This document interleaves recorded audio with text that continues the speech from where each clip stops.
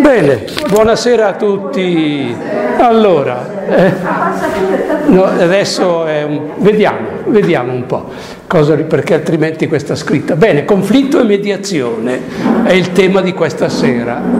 È una prova che facciamo con questa nuova disposizione, poi mi direte voi. Conflitto e mediazione. Allora, sono due cose importantissime, perché i conflitti sono all'ordine del giorno e il mondo è pieno di conflitti. Abbiamo bisogno di mediazione e continuiamo a cercare modi.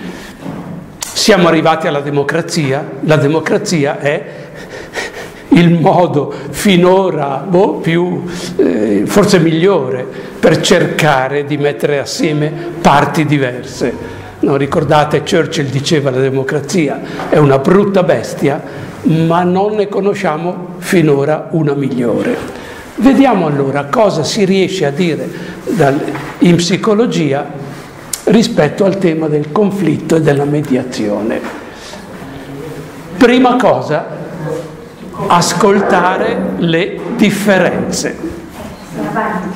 Ora, quando si parla di conflitto, significa, è la palissiano, che ci sono tante differenze e ci si pone il problema di come fare quando c'è da prendere delle decisioni, perché se non ci sono da prendere decisioni, ognuno va per la propria strada, le differenze ognuno le coltiva, fa propria, il proprio essere, ma il problema è, è che è un problema continuo, continuo, continuo, quando dobbiamo prendere delle decisioni. Allora, vi dirò una serie di cose non facili, non facili, perché eh, in psicologia ci sono una serie di principi che, sono, che sono difficili da assorbire. Allora, prima cosa, ormai conoscete, vediamo, questo, questa tazza tutta piena che trabocca la conoscete. Eh, vi capiterà sicuramente di sentire delle cose questa sera eh, non facili da digerire. No? Quindi, però l'invito è, perché parliamo di conflitti e di mediazione, il primo è, è quello di ascoltare, ma per ascoltare bisogna in qualche modo cercare di svuotarsi perché istintivamente quando noi sentiamo qualcosa che va contro quello che noi pensiamo, istintivamente tendiamo a rifiutarlo. Google, Yahoo, eh, tutti i motori di ricerca questo lo sanno benissimo, per cui conoscendoci, se noi navighiamo, quando noi facciamo delle domande, cercano di darci come primi risultati i risultati più vicini al nostro mondo di ricerche. Questo è ciò che, fa, che fanno i motori di ricerca, a meno che voi viaggiate in incognito. Quando voi aprite Google o Firefox, se, se schiacciate sul tasto destro, vedete che vi vengono una, una serie di scelte. Una di queste è navigare in incognito che in realtà non è in incognito, no, però, però, se voi navigate in incognito, l'unico vantaggio che avete, oppure svantaggio per qualcuno, no, è che non, memorizza, non vengono memorizzati i siti dove voi andate, non vengono memorizzati, per cui Google, Yahoo, eccetera, eccetera, non sanno quali sono i vostri gusti. Se invece voi navigate normalmente, quindi aprite tranquillamente col tasto sinistro, Google e tutti i motori di ricerca tengono a memoria tutte le vostre ricerche, quindi se tu fai una domanda, se tu invece fai doma- la stessa domanda ma hai una storia diversa nel tuo accedere ai, ai motori di ricerca, ti dà risposte diverse, cioè prende le risposte più vicine a te te le mette in prima pagina. E se l'altra persona ha gusti diversi da te, il motore di ricerca mette in prima pagina le risposte che sono più vicini alle sue ricerche, al suo modo di pensare. Questo è un vantaggio nel senso che se c'è qualcosa di nuovo rispetto ai nostri gusti, ce lo indica, ma è nello stesso tempo uno svantaggio perché il rischio è di andare sempre a vedere cose simili a noi. E il diverso, quello che crea conflitto, quello che crea punti interrogativi, quello che ci può dare delle occasioni di crescita, ci è difficile andarlo a vedere. Ok, quindi l'invito è questo. Vediamo. Allora, conflitto e incompatibilità. Succede. Non sempre si riescono a risolvere i conflitti ed è un problema. I conflitti vengono, derivano dalle differenze che possono anche essere delle incompatibilità. Allora, noi no, abbiamo bisogno, non abbiamo bisogno di una battaglia per ottenere una vittoria. Questo è il principio fondamentale in democrazia. Non abbiamo bisogno di una battaglia per ottenere una vittoria. E vediamo come fare? Vedete qui la copertina di un testo di Pat Patford. Questa Pat Patford è la caposcuola di una scuola belga che studia eh, la, la, teoria del, dei conflitti e come risolverli. Pat Patford è in Belgio, c'è un'altra scuola importantissima negli Stati Uniti, a Boston, no? al Massachusetts Institute of Technology, proprio che studia tutto, sono due grandi scuole e poi ci sono tanti, tanti, tanti che cercano di affrontare questo tema. Allora, vediamo. Gestione non violenta dei conflitti e dei confronti. Questa è Pat Patford che fa una lezione, purtroppo non la vediamo per quella scritta, che non riusciamo ad eliminare. No? Vediamo. È necessario difendersi, ognuno di noi. Il primo istinto è quello della sopravvivenza, no? in psicologia questo è ovvio, ma abbiamo due strade, la guerra e la non violenza. La soluzione creativa dei conflitti fa parte del mondo della non violenza. Guerra, l'abitudine Ecco qua, l'Homo sapiens. Siamo abituati a lottare, in particolare negli ultimi 12.000 anni, cioè da quando l'uomo ha iniziato l'agricoltura prima di 12.000 anni. Pensate che l'ultima glaciazione è finita circa 15, 15.000 anni fa, no? l'ultima glaciazione e gli uomini erano pochissimi, immaginate, in quel clima dove anche tutto il Mediterraneo era praticamente vuoto, perché il ghiaccio copriva, copriva tutto, tutta l'Europa no? e, e, tutto, e, e, gran parte del mondo. No? lì erano solo piccole comunità, piccoli gruppi e gli antropologi ci dicono che erano piccoli gruppi dove eh, vigeva l'ugualitarismo. Eh, non c'erano differenze perché piccoli gruppi, 50, 70, 100 persone. E poi il, il gruppo successivo magari era a 50 km o a 100 km, erano solo piccoli gruppi che ave, hanno resistito alle alle glaciazione. E mm, abbiamo corso il rischio di sparire. Si calcola che alla fine della, della glaciazione eh, l'Homo sapiens fosse più o meno attorno ai 35.000 35.000 persone, quindi vicino all'estinzione. Ma cos'è successo 12.000 anni fa, quando è iniziata l'abitudine alla guerra? È iniziata l'agricoltura, perché? Perché si è stabilizzato il clima. Sono 12.000 anni che il clima è stabile. Noi adesso abbiamo dei problemi, perché l'uomo lo sapete, con le rivoluzioni industriali correndo, stiamo correndo dei rischi, non la terra, è l'uomo. La terra va avanti comunque.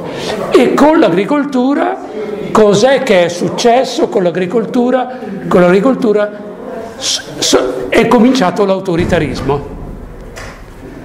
Con l'agricoltura la popolazione ha cominciato a crescere perché si coltivava, c'era il surplus, c'è quello che si occupa del magazzino, c'è quello che zappa la terra, c'è quello che eh, governa, fa i conti, c'è quello che pensa a distribuire e, e è cominciato la gerarchizzazione.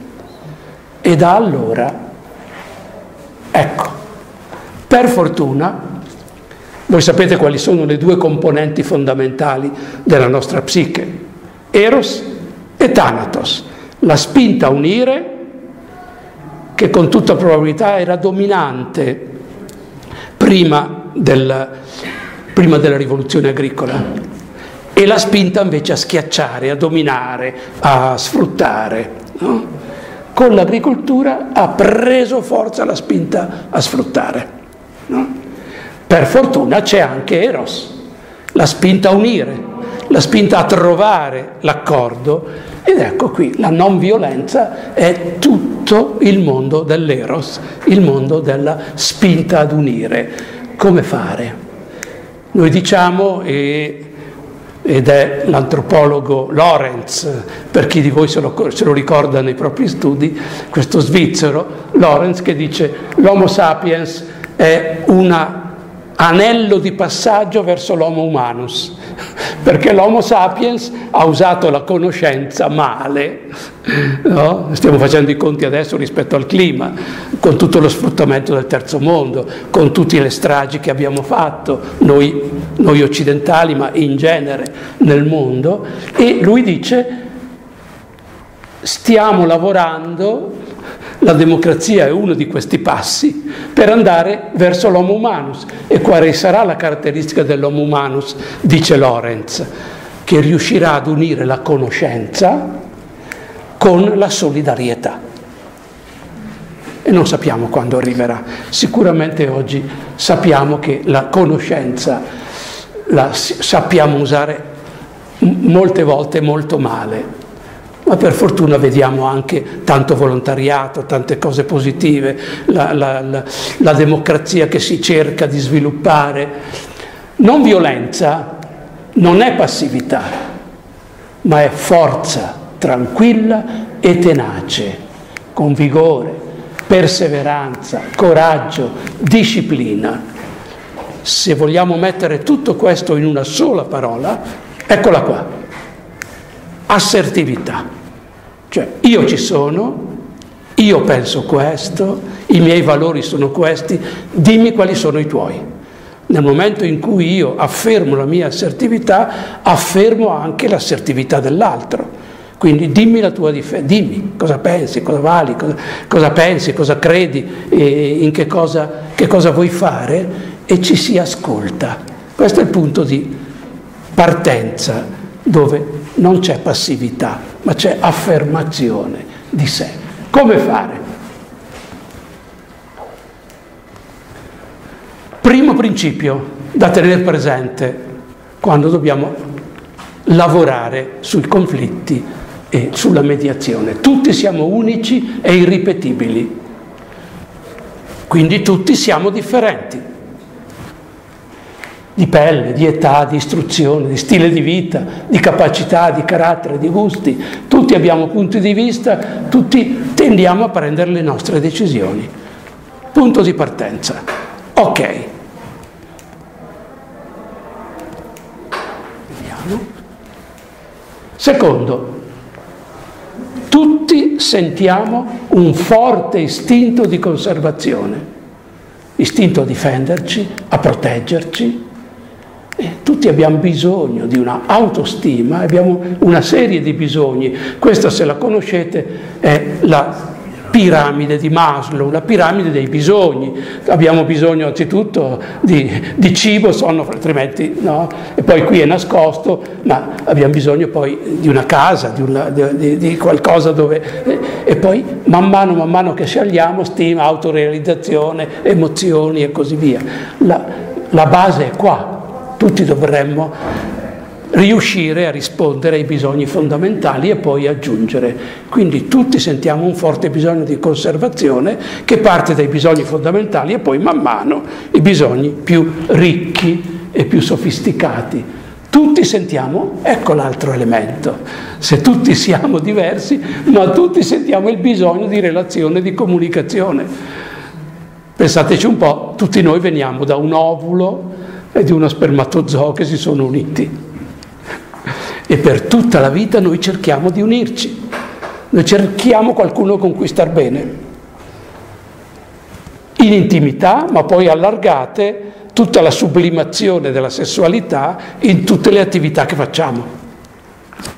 Questo è il bisogno di comunicazione di idee, di emozioni. Quindi il mondo, chi sei, cosa fai, cosa pensi, cosa provi, cosa senti, no? l'amicizia, l'amore, la fratellanza, tutto questo mondo. E questo è un altro elemento. Ascoltare è il prerequisito per comunicare. Non interrompere, brevità, essere estremamente brevi e sintetici. Tutti noi abbiamo esperienza di persone che parlano, parlano, parlano, parlano, parlano, parlano, parlano e le stesse cose potrebbero dirle in due minuti, invece parlano per un'ora. No? Ed è un problema, no? questa lolo, logo questo sputare continuamente parole. No, è, delle, è molto interessante quando in una discussione si fissa un termine. Ad esempio mi pare che nel Parlamento, nel Parlamento tedesco ci sia strutturalmente questo, che so io, interventi in Parlamento nessuno può parlare più di 5 minuti, ad esempio, no? ma ad obbligare la gente alla sintesi invece che a fare dare spazio ai silenzi, anche il silenzio è riflessione, ha dei significati. Purtroppo noi, uno dei limiti, vi dicevo prima che la democrazia è una brutta bestia, ma per ora non ne conosciamo una migliore, uno dei limiti della democrazia è che ogni democrazia ha il diritto di parola. E questo va benissimo, Sappiamo che alcune volte si usa il diritto di parola per intralciare i lavori, no? parla, se non ci sono dei limiti, si parla per ore e ore e ore per far passare tempo e far scadere delle leggi, dei, de, delle, delle decisioni. Quindi c'è un uso distorto del parlare. Purtroppo non c'è il diritto ad essere ascoltati. Non c'è, in Costituzione non c'è in nessuna Costituzione democratica, perché è molto difficile mettere, ma è la base, la base di un passaggio ulteriore dall'Homo sapiens all'Homo humanus. Più si ascolta, più cresci. E potete immaginare, noi abbiamo una bocca e due orecchie. Forse è bene che parliamo la metà e ascoltiamo il doppio. Ma non è facile, perché non c'è nessuna abitudine, è proprio anche la nostra struttura sociale non ci, non ci, abitua all'ascolto attivo. Qui è Kurt Levin, un sociologo che punta molto sull'ascolto attivo. Qui c'è scritto qua sotto, dimmi perché tu pensi così? Tu pensi questa cosa che secondo me è completamente sbagliata. Spiegami il perché. Perché vedremo più avanti, in ogni cosa che noi riteniamo sbagliata c'è dentro un pezzo di verità. Perché se quella persona la pensa, ha una storia alle spalle che la fa pensare così. Ed è soltanto ascoltandosi reciprocamente, che possiamo prendere dei pezzi e metterli assieme. Pari dignità. Questo è uno splendido articolo della nostra Costituzione. Tutti i cittadini hanno pari dignità sociale. Questo è un grande aiuto per chi vuole sottolineare l'ascolto. Se siamo pari, dobbiamo ascoltarci tutti quanti perché tutti hanno un pezzo di, di storia, se siamo tutti diversi, c'è una storia diversa dietro ognuno di noi. Quindi se dobbiamo prendere delle decisioni, mettiamo mettiamoli a confronto e cerchiamo di spiegare reciprocamente le differenze. Ascolto. Differenza non significa conflitto, ma l'abitudine ci spinge da 11-12 mila anni, dall'epoca dell'agricoltura, al conflitto, a schiacciare gli altri.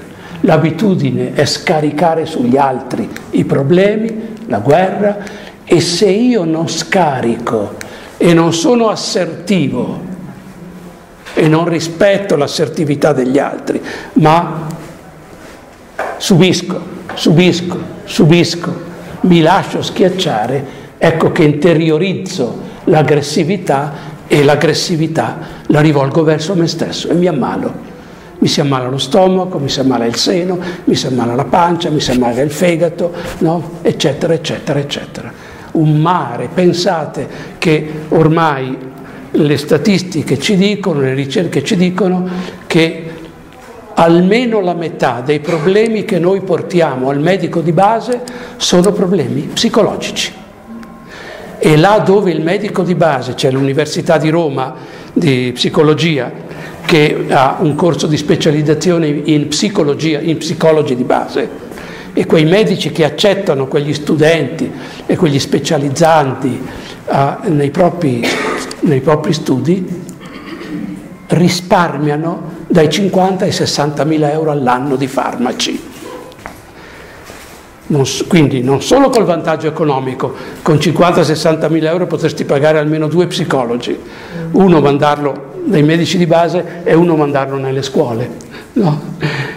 Non solo 50-60 mila euro di risparmio, ma effetti collaterali meno farmaci, meno effetti collaterali. Negli Stati Uniti la prima causa di morte oggi è, sono gli effetti collaterali dei farmaci. Ma terzo vantaggio enorme, dal punto di vista psicologico il più importante, le persone cominciano a riflettere e a costruire la consapevolezza di come gestire le proprie relazioni, perché è nelle relazioni che si sta bene ed è nelle relazioni che ci si ammala. Tutte le malattie sono malattie di relazione che poi scarichiamo dentro il nostro organismo. Come cambiare? Henry Laborit e l'elogio della fuga. ecco, il cambiamento è sempre molto difficile. Henry Laborit è un neurologo che eh, ha scritto questo libro carino Dice, se tu stai bene, va bene, vai avanti così, ma se stai male, fermati, esamina le cose che stai facendo. Il rischio che tutti corriamo è di ripetere gli stessi meccanismi, quindi continuare a star male. Allora esamina quello che stai facendo e scappa, cioè comincia a cambiare, comincia a provare a cambiare. Elogio della fuga. Gandhi, e questi sono tutti personaggi che hanno lavorato per la non violenza, per la comprensione. Gandhi, Aldo Capitini, se lo conoscete, poi vi dicevo la scuola di Boston, il caposcuola è Saskin, la scuola di Bruges, che è la Patford che vediamo adesso, e Laborit, che ha studiato molto sull'aggressività, partendo dagli esperimenti con i topolini e vedendo come funziona l'aggressività. Il modello della non pari dignità. Allora, mentre l'articolo 3 l'abbiamo visto, dice tutti gli uomini hanno pari dignità, cosa succede quando noi invece non viviamo la pari dignità di chiunque, di chiunque? Io credo di avervelo detto altre volte, io parto sempre a dare del tu a tutti al sindaco, al Presidente della Repubblica, al medico, all'avvocato, a qualunque persona, do del tu, per questo articolo della Costituzione italiana. Se lo accetta vado avanti, se non lo accetta gli spiego, aiutami a darti del tu perché mi aiuti a rafforzare l'articolo 3 dentro di me, l'articolo della Costituzione. Siamo in pari dignità perché quando non scatta la pari dignità, ecco, noi vediamo continuamente la deumanizzazione. Non è una persona come me. ho visto, mm, c'è un programma splendido, oggi è lunedì, domani sera su Rai 2 c'è un programma splendido, Ragazzi contro, credo sia in seconda serata, dove uno, un giornalista affiancato da, sicuramente da tanti psicologi, va in una classe e per tre giorni, diversi, per tre giorni consecutivi fa un'ora, un'ora, un'ora, muovendo le emozioni dei ragazzi, una cosa splendida e parte dando subito del tu e facendosi no, immediatamente. Ma, e, e l'altro, mm, io me lo vedo su Rai, su Rai Play, no? Perché la sera preferisco andare a letto, ma vado su Rai Play eh, e, e L'altro, l'ultimo che ho visto, un esperimento. Un giovane eh, senegalese, credo, no? quindi nero, va per strada e a un certo punto, aia, che male, che male, si accascia per terra. No? Nessuno lo guarda. Cambia posto, aia, aia, aia, si accascia per terra. Nessuno. E così via, e così via. Un collega bianco Aia, aia, si accascia per terra. Cosa c'è? Cos'è? Devo chiamare 118, cosa fai? E così via, e così via. Deumanizzazione. Quello che, ricordate la tazza all'inizio? Quello che è uguale a me, quello che è simile a quello che io ho dentro nella tazza, me ne occupo. Il nero, no, non mi viene istintivo di chiedergli cosa c'è, cos'è che non va parte tendenzialmente, quindi non è umano. Deumanizzazione, una cosa che eh, noi vediamo adesso nei documenti quando siamo stati, quando l'Italia è stata in Etiopia, ha fatto quelle cavolate, nei documenti ufficiali si diceva proprio sono bestie e ne abbiamo uccisi a migliaia. Ne abbiamo uccisi a migliaia in Etiopia, in Libia, abbiamo fatto delle stragi, ma considerandoli bestie. E, e proprio usavano queste parole nei documenti, deumanizzare oppure oggettivare. Beh, qui abbiamo anche semplicemente tutto in questi giorni, nei giorni scorsi è stato il giorno la, no, contro la violenza, la violenza contro le donne, questa è una, un classico oggettivazione. Io preferisco non parlare di violenza contro le donne, ma preferisco usare un altro modo.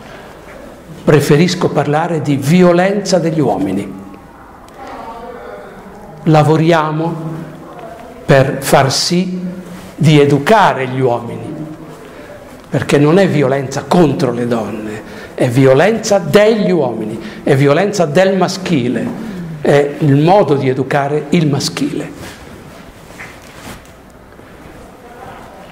Allora, vi dicevo prima, là è il diverso, io sono il diverso, perché tutti siamo diversi, ma in ogni diverso c'è un pezzo in ognuno, nessuno ha in mano la verità, ognuno ha la propria verità personale. Ed ecco qui vi ricordo delle cose classiche, Pascal, lo conoscete, in fondo a ogni verità bisogna aggiungere che ci si deve ricordare della verità opposta. Pensate alle persone che la pensano diversamente da ognuno di voi, in politica, in religione, in, nel modo di, di, di, eh, di, pensare, che so io, alla scuola, nel modo di pensare al centro sociale, no? e così via e così via. Pensate, cosa c'è di verità nell'altro che la pensa esattamente l'opposto. E scoprirete se, se riuscite a svuotare quella tazza. La Hegel, classico, la contraddizione è la regola del vero, la non contraddizione del falso.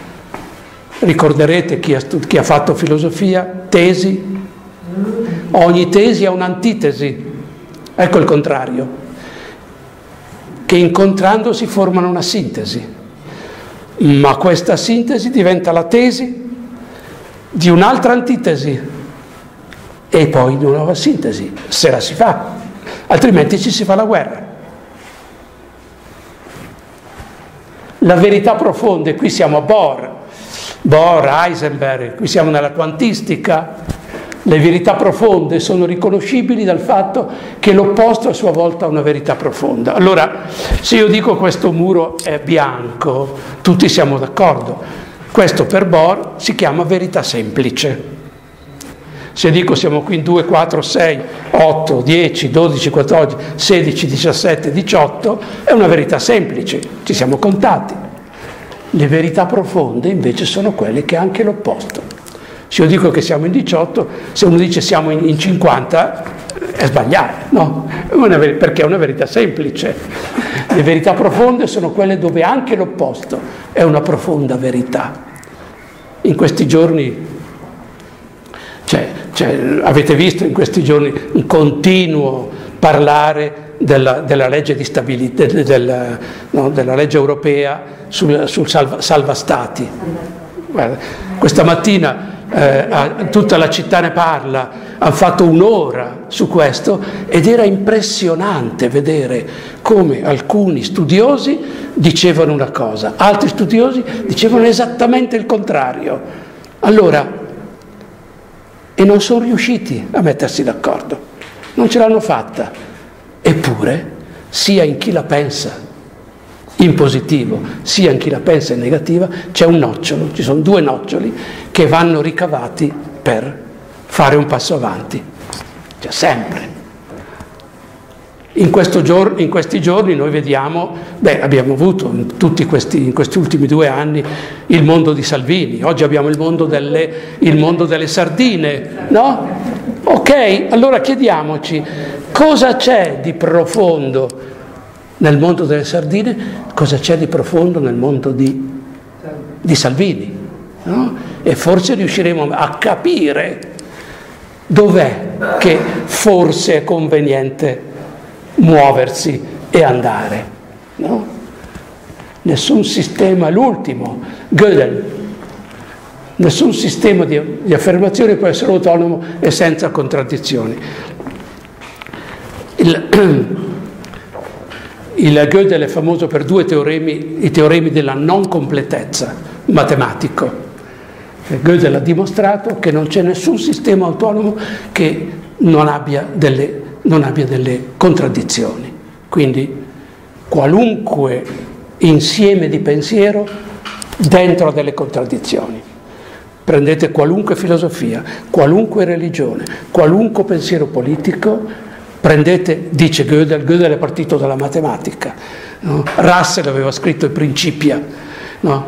Principia matematici, no? i principi della matematica, Gödel lo va a studiare e dice, caro Russell, sono, c'è pieno di contraddizioni.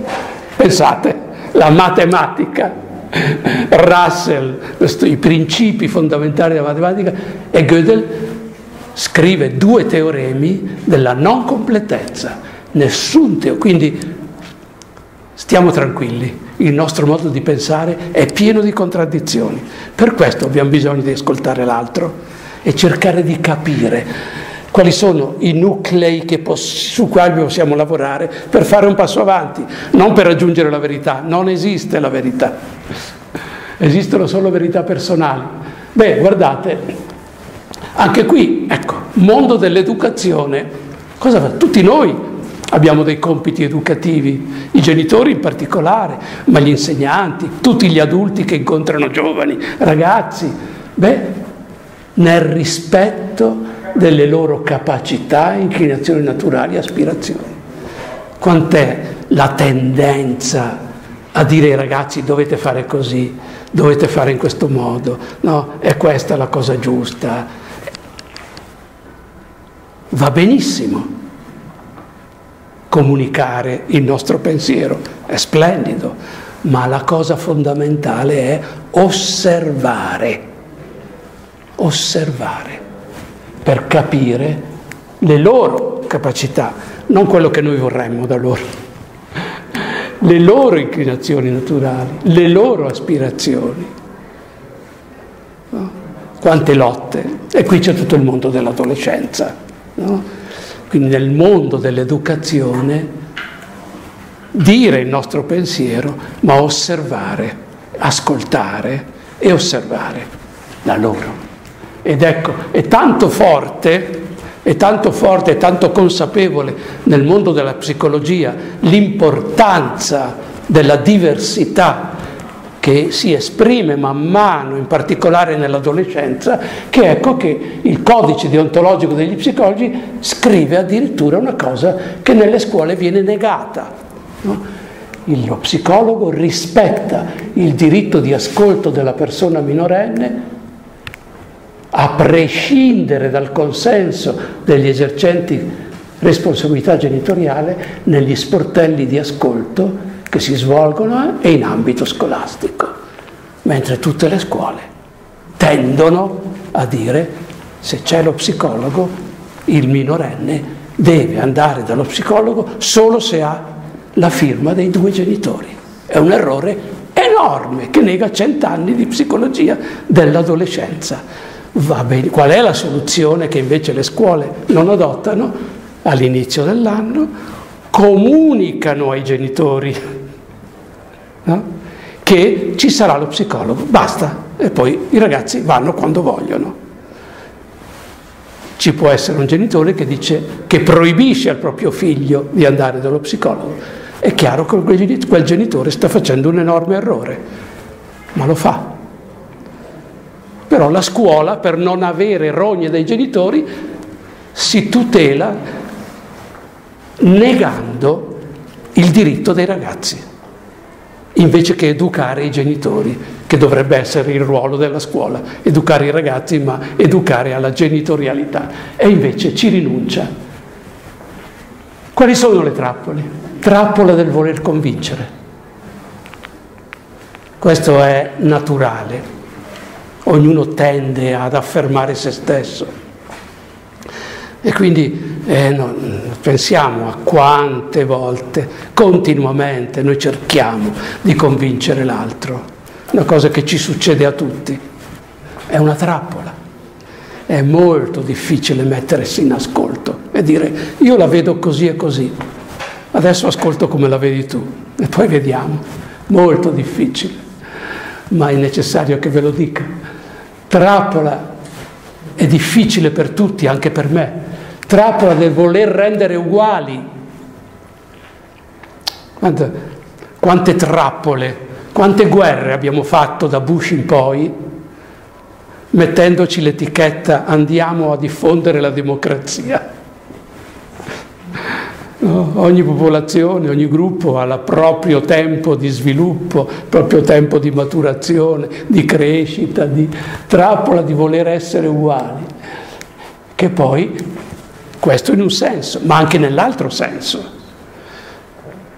In particolare nell'adolescenza la trappola di voler essere uguali al giocatore di box, al giocatore di football, al giocatore, allo, allo, allo sportivo, alla, eh, al cantante, al musicista, al, no?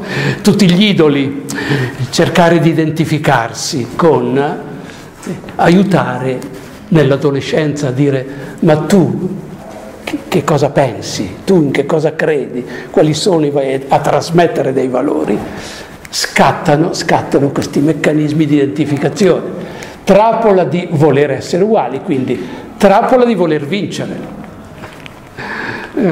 La guerra è fatta, qual è la sostanza della guerra? Uno vince e l'altro perde. Qual è invece la, il risultato del, eh, del lavoro sul, mm, eh, sull'unire, sul discutere? È che tutti e due si vince. Non c'è uno che vince e l'altro perde. Si vince tutte e due perché ci si capisce, si lavora per capirsi e poi si va avanti. Oh, allora, quali sono le fonti del conflitto? L'identità, io, ed è corretto, se rispetto però anche l'io dell'altro, gli interessi, i miei interessi ma si rispetta anche gli interessi dell'altro e ne parliamo. I valori, i miei valori, spiegami i tuoi valori. E le emozioni, la rabbia, la rabbia no? le emozioni, ascoltiamo le emozioni, diciamoci le emozioni e vediamo. Questo è.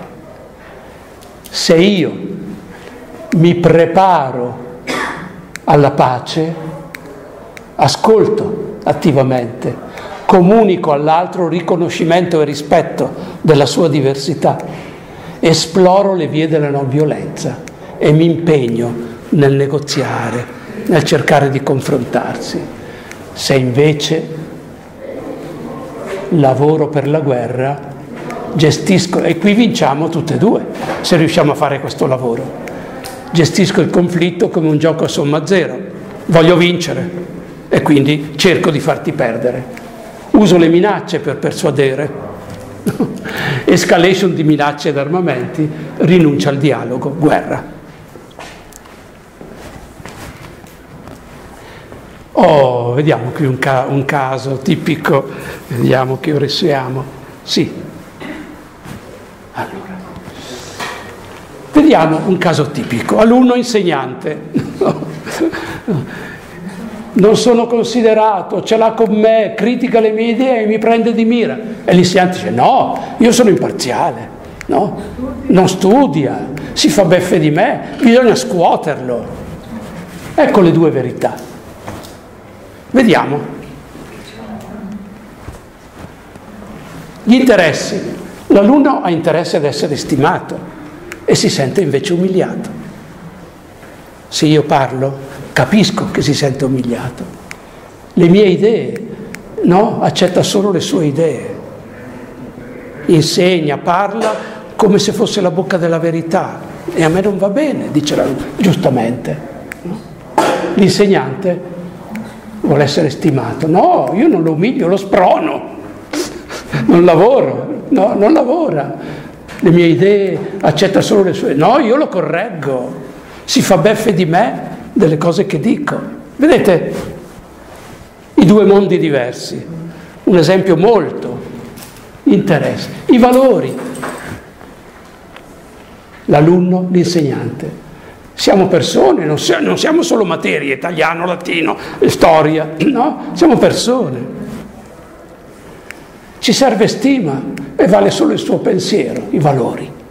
Ci serve stima, la stima che torna. Insegnante, serve impegno, non si impegna questo ragazzo. Bisogna esigere, non mi rispetta, non c'è rispetto.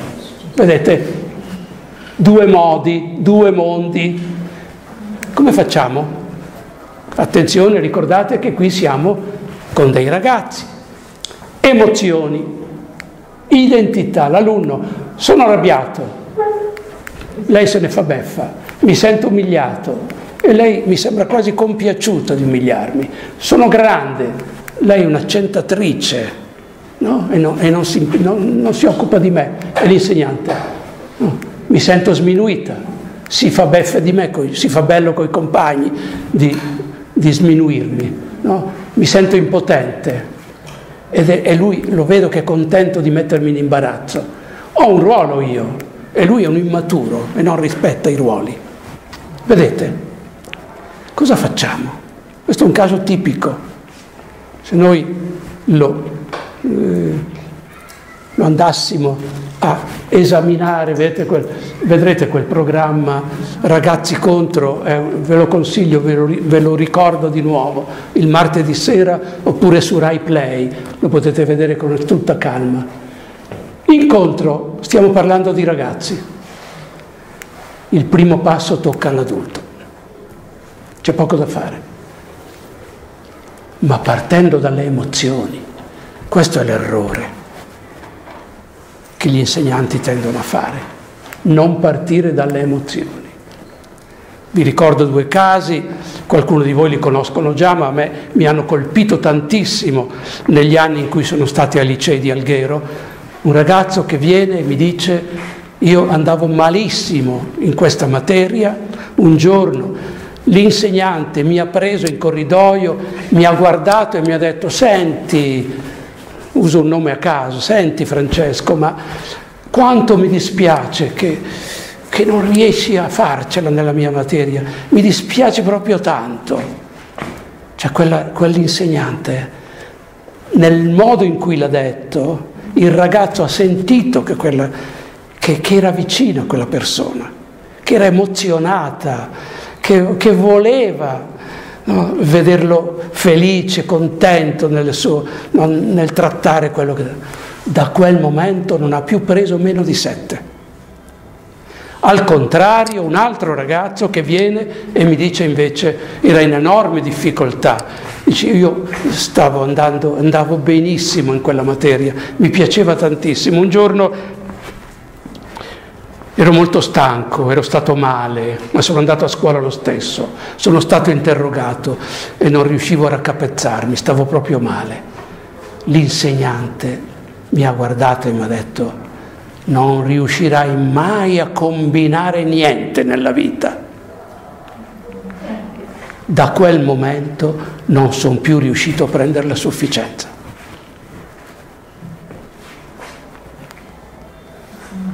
L'intelligenza emotiva è fondamentale e purtroppo nessuno la insegna agli insegnanti e ai genitori. Pace, quindi preparati al rincontro, ascolta, comunica riconoscimento, esplora le vie della noia, impegnati a trovare soluzione. Empatia dell'adulto.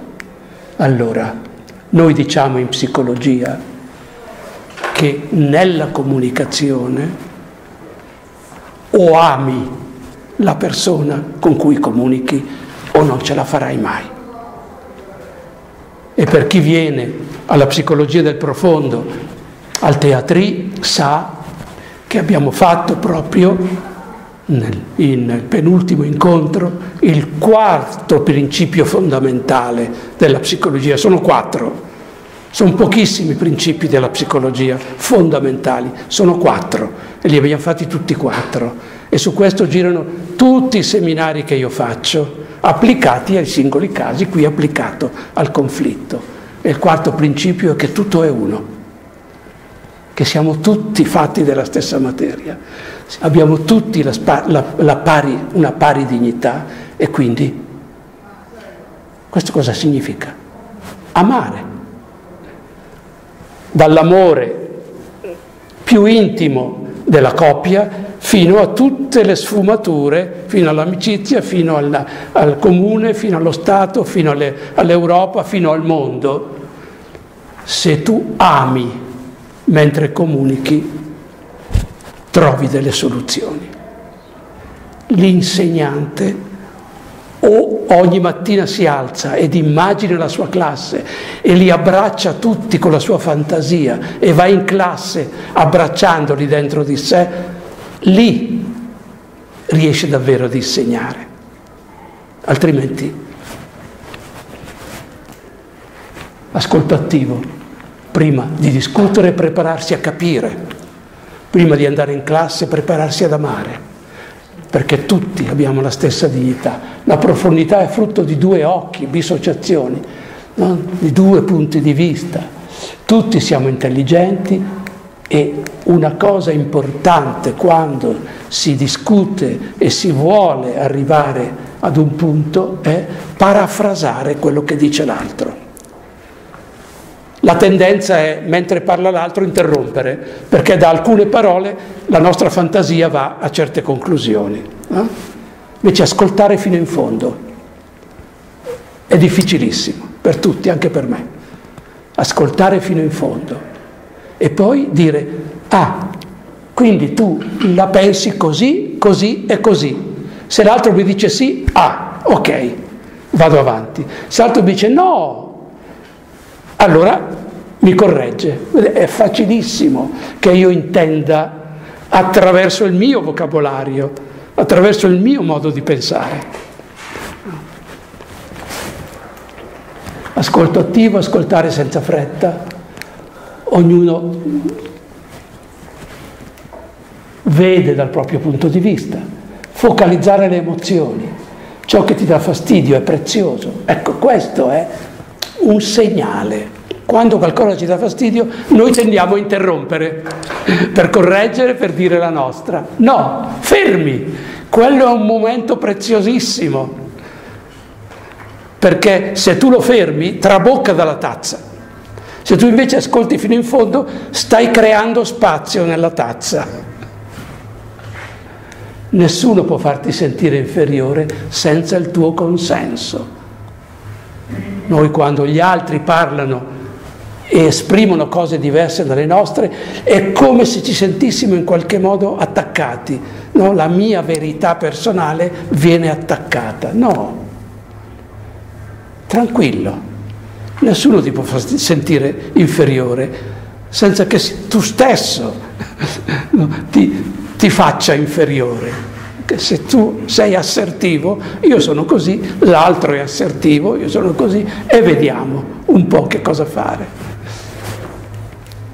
Ascolto attivo, esplorare, moltiplicando le opzioni. Qui vediamo invece fra adulti un caso tipico, un altro esempio e poi dovremo chiudere che andiamo verso le sette. Lei bisogno di discutere, non si sente capita, piange in silenzio, sorride ai figli, si deprime, le viene l'ulcera. Lui, non ci sono problemi, ma te li crei i problemi, sbatte la porta, sta zitto o alza la voce. Riconoscete un caso del genere? No? È un tipico del, del femminile e del maschile, come la storia ci ha formati non è né colpa né merito, è proprio la storia, è proprio la società che noi, stiamo parlando del nostro mondo, ci ha formati così. E allora è difficile sia per la donna riuscire a capire, sia per l'uomo riuscire a capire. La metà delle coppie si lascia, non riesce a risolvere questo problema. 30% sta assieme ma non riuscendo a risolverlo, quindi standoci male. Lei, che fare? Ho bisogno di sapere cosa senti e lui non so bene come esprimere i miei sentimenti, perché fin da bambini ci dicono noi maschi, no? stai piangendo, ma come? Sei un ometto, no? non sei una femminuccia. Capite anche le parole, ometto è detto in positivo, femminuccia è detto in negativo. Altrimenti mi sento isolata, furiosa, sono scoraggiata se non, esprim- se, non, se non, esprimo i miei sentimenti. Ti amo ma mi sento ignorata. Non so bene come esprimere i miei sentimenti. Temo di mostrarti debole, di essere una femminuccia. Non sono abituato a parlare dei miei sentimenti mi sento a disagio quando parli troppo. Un altro, ti amo ma ho paura che tu mi sommerga di parole. Vi riconoscete? Incontrarsi, parlare con calma, uno alla volta, per non troppo tempo, ascoltando l'altro, senza accuse, usando il linguaggio dell'io. Una cosa che può essere utilissima nella coppia, mai dire tu non parli mai, tu non esprimi le tue... Cioè, sono tutte accuse. Oppure tu parli troppo, tu no? eh, ne hai sempre una, capite? Maschio, femmina. Linguaggio dell'io. Se io dico sbagli a fare così, scatta l'assertività, mi difendo. Dice no, scusa, eh.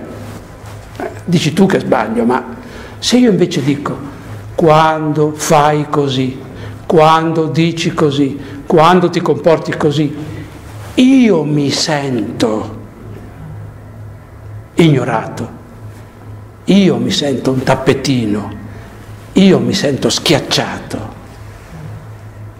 Se io ti voglio bene, cioè non posso dire di no, perché è quello che senti. Forse scatta un pensiero, beh, forse no, ci penso a non fare così, a non dire così, perché non voglio che l'altro stia male. Ma se l'altro mi dice sbagli quando fai così, è tutto sbagliato, tu non, non, non esprimi mai nessuna emozione, l'altro si difende e basta. Scatta l'autodifesa invece che scattare l'empatia, l'affetto, l'emozione. Bene, la scuola questo è un, il disegno tipico della scuola di Bruges, della, della Padford, Bruges in Belgio. No? Sempre, se io non ho pre- qui c'è minore, no? sempre se io non ho presente l'articolo 3 della Costituzione, pari dignità sociale, sempre si crea una situazione di maggiore minore volendo o nolendo, o, volente o nolente, si crea questo.